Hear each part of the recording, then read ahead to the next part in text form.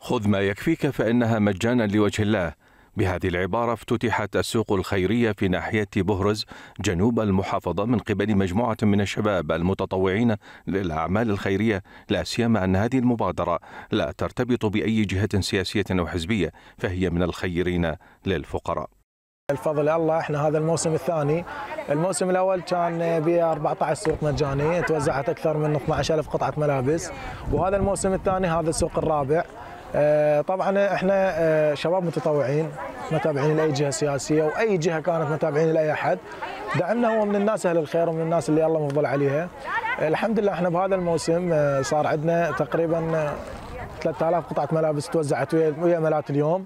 هذا السوق المجاني اللي استهدفنا به العوائل المتعففه مع قرب شهر رمضان المبارك إن شاء الله. عندنا مبادرات أخرى اللي هي سلات الرمضانية وكسوة العيد وغيرها هواي شغلات. مبادرة كانت بادرة أمل وفرحة للعوائل الفقيرة التي تعاني الفقر والعوز وضنك العيش.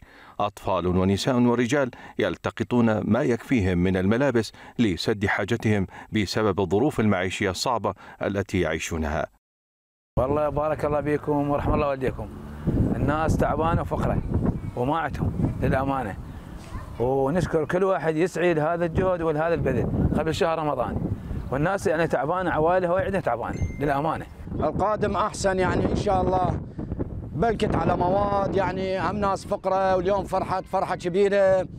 وتشير الإحصائيات إلى ارتفاع نسب البطالة في ديالى لتأتي بالمرتبة الثالثة على مستوى العراق ما يتطلب تدخلا حكوميا عاجلا لدعم العوائل الفقيرة والمحتاجة وتبقى هذه الأسواق ملاذا آمنا للعائلات الفقيرة في المحافظة.